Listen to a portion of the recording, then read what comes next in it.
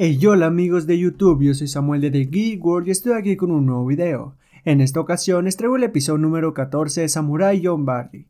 Antes de dar inicio a este episodio me gustaría invitarlos a que si aún no han visto los primeros episodios de esta serie vayan a verlos. En este momento voy a ponerles en pantalla la lista de reproducción de, de dicha serie que incluye todos y cada uno de los capítulos de la misma. Una vez dicho esto, solo mencionarles que al final de este video les voy a dar un anuncio, aunque pues si ya vieron el otro video que les subí este día de la venganza de Karma ya saben cuál es ese aviso, mas sin embargo los invito a que se queden hasta el final de este video. Una vez dicho esto y sin nada más por añadir, vamos de lleno con el episodio de este día. Muy pronto comprendió Sumara por qué aquella isla le llamaban maldita. Era el lugar donde confinaban a todos los enfermos de lepra. La infeliz joven fue atacada por las más horribles criaturas, pero supo defenderse valientemente. Meses más tarde regresó el barco de Yabu, quien había hecho un ventajoso negocio con Lin Tu, dueña de una casa de geishas. Aquella mujer en la isla examinó a Sumara para comprobar que no había tenido contagio de lepra y poderle emplear en su negocio. Una joven de tu belleza no merece terminar sus días en este horrible lugar. Alégrate, muchacha. Mi ama quiere llevarte a su casa, donde no te faltará nada. ¿Qué te parece? Sumara no sospechaba las verdaderas intenciones de Lintu. Le parecía un milagro que una bienhechora desconocida la rescatara de la isla maldita, y dócilmente se dejó conducir hasta el bote donde los esperaba Yabu. Poco después abordaron el barco, y en el tiempo que duró la travesía la muchacha no obtuvo ninguna información acerca del lugar de destino. Lo supo dos días más tarde, cuando desembarcaron en el puerto de Osaka, y después de una breve caminata siguieron a la casa de Lintú. En el amplio jardín varias jovencitas las vieron pasar, inclinándose. Quiero que te arregles con esmero para que causes una buena impresión a los clientes. ¿Clientes? Con tus modales y belleza te convertirás muy pronto en la favorita de esta casa. Sumara empezó a comprender. ¿Esta es una casa de geishas? Efectivamente, aquí los hombres vienen a divertirse y nuestra obligación es proporcionarles distracción. Lo siento, Lintu, yo no soy una geisha. Tú harás lo que te ordene. Conozco muy bien tu historia. Tu marido Buntaro al repudiarte te abandonó. Sin duda tenía buenos motivos para hacerlo. Yo te rescaté de la isla maldita invirtiendo mucho tiempo y dinero. Ahora eres de mi propiedad.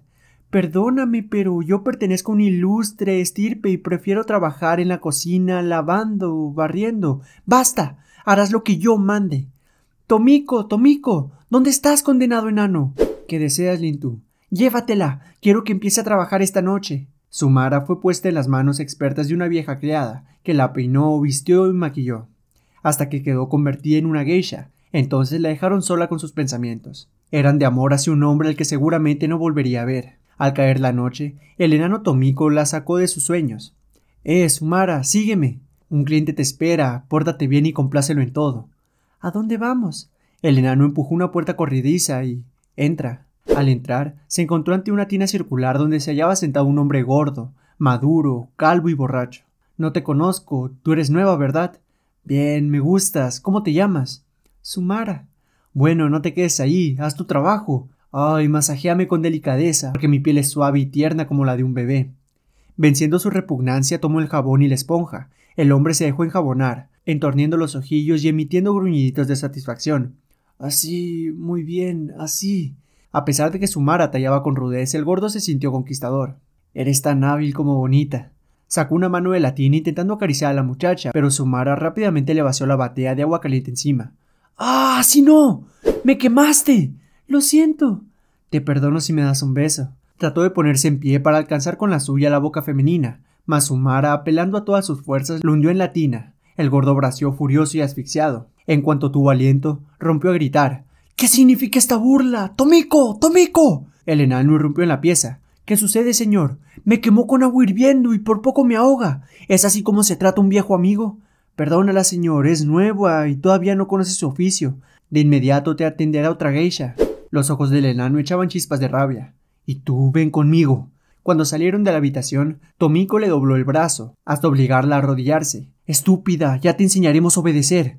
Le desgarró un fuerte puñetazo. Y luego fueron ante Lintu, a quien le relató lo que acaba de suceder. Incluso lo quemó con agua caliente. La rebeldía es un defecto que no le conviene tener a una geisha. Aquí aprenderás a ser dulce y complaciente, Sumara. Ya te lo he dicho, Lintu, no voy a humillarme. Estás en mi casa, y aquí mando yo. Por lo pronto límpiate la sangre que tienes en la boca. Lamento que Tomiko te pegara.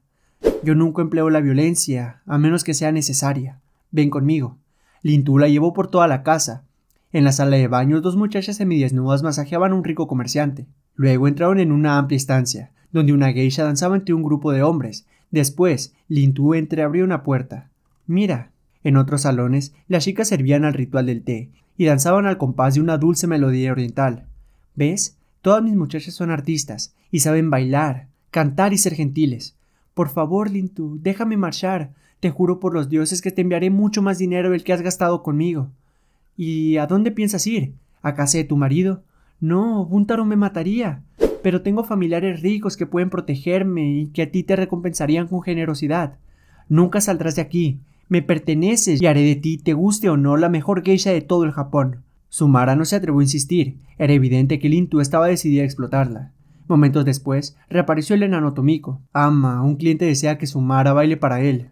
Lintu y su sirviente intercambiaron palabras en voz baja. A medida que el enano le informaba, la mujer sonreía complacida. Es un hombre poderoso y ella tendrá que obedecer. Sí, con este no podrá jugar.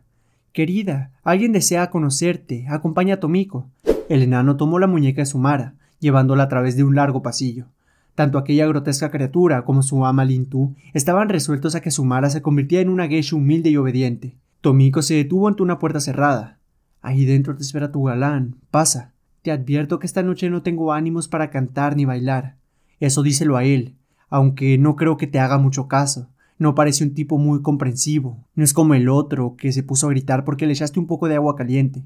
A este no le gustan las bromas. Tomiko descorrió la puerta. Pero no le hagas esperar. Adelante.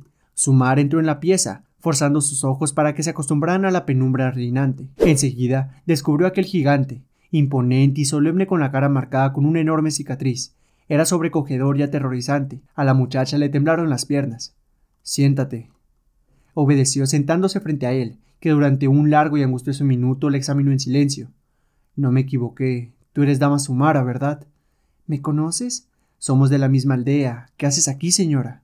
Sumara suspiró aliviada. Aquel hombre era su amigo. Estoy prisionera. No reconocen que pertenezco a un alto nivel social. ¿Qué ha sucedido? Todos te dábamos por muerta. ¿Cómo viniste a caer en un lugar como este? Mi marido me repudió y. Oh. Es una historia demasiado larga. Te suplico que me ayudes. Cuenta conmigo. ¿Qué debo hacer? ¿Conoces al honorable bárbaro? El extranjero de ojos azules. Sí, lo conozco. Dile dónde estoy. Él, con la ayuda de mi tío Minoragua, consiguiera rescatarme.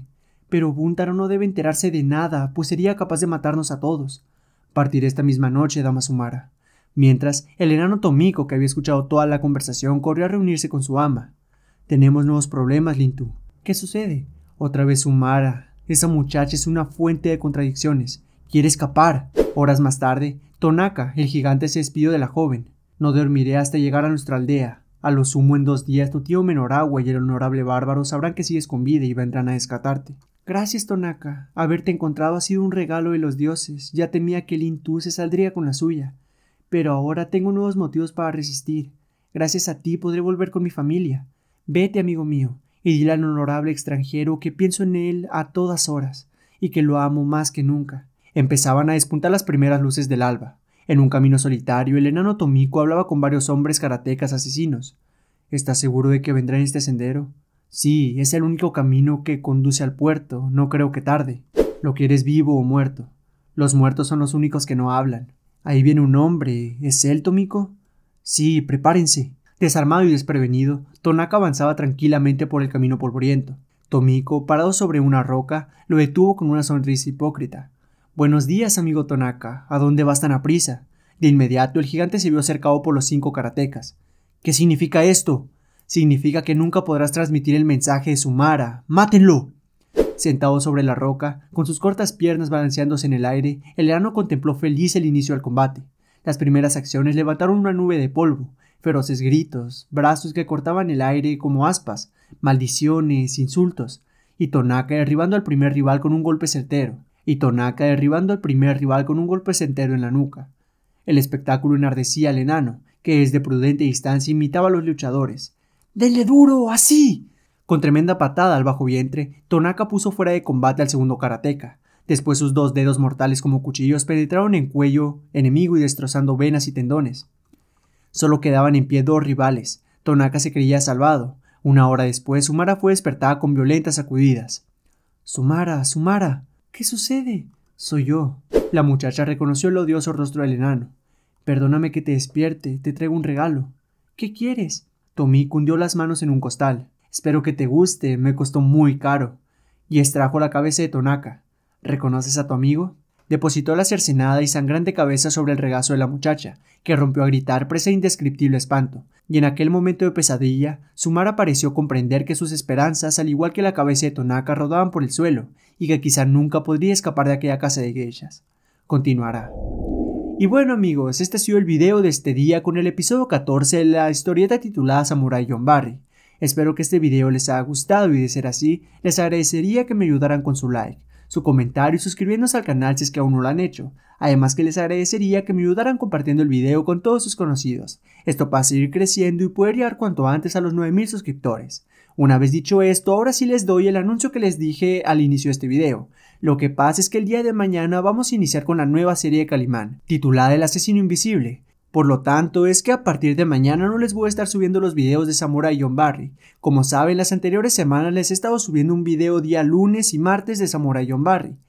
Y ya los días miércoles y jueves solamente les traigo video de Calimán. Mas sin embargo, hasta que no finalicemos con la venganza de Karma no les voy a traer ningún video de Samurai. A pesar de esto, pues no quiero desalentarlos, ya que pues solamente va a ser creo que esta semana y la siguiente que no les voy a traer video de Samurai. Ya que pues creo que después de que iniciemos con el asesino invisible, solo van a haber 6 videos más hasta que finalicemos con la venganza de Karma por completo y que ya solo continuemos con la historia del asesino invisible. Por lo tanto es que no va a pasar mucho tiempo antes de que les vuelva a traer videos de Samurai. Una vez dicho esto y ahora sí sin nada más por añadir, doy por finalizado este video. No olviden que yo soy Samuel y que esto es de Geek World. Nos vemos hasta la próxima.